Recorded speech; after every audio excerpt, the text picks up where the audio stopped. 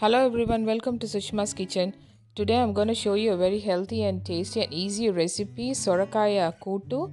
Uh, that is gourd koottu in uh, South Indian style. This is a very tasty recipe. Hope you will like it and please don't forget to subscribe to my channel. Now I'm gonna do this in the pressure cooker, which uh, makes only which takes only five minutes to make this curry. I've taken 2 tablespoons of oil and I'm adding for the seasonings 1 teaspoon of mustard seeds, 1 teaspoon of cumin and 1 teaspoon of urad dal and 1 teaspoon of fennel seeds. And a few curry leaves and 3 to 4 garlics and uh, 2 green red chilies I'm adding in this with uh, 2 green chilies, 1 sliced onion.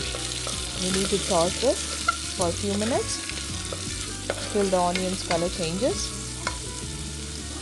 Then I'm gonna add in this uh, half a teaspoon of uh, turmeric and one teaspoon of rock salt.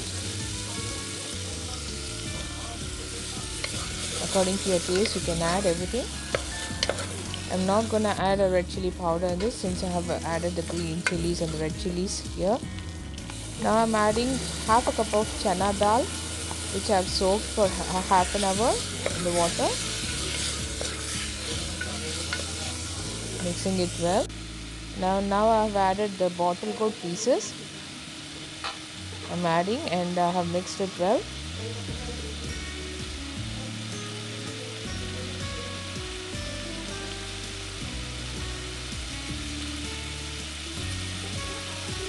Now we need to mix this all together. Let it cook for 2 minutes.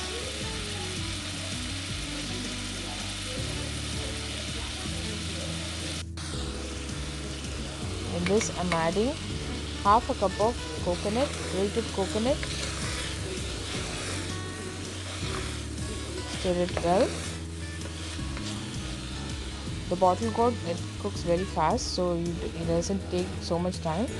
And I'm adding half a cup of water for the vegetables to get cooked.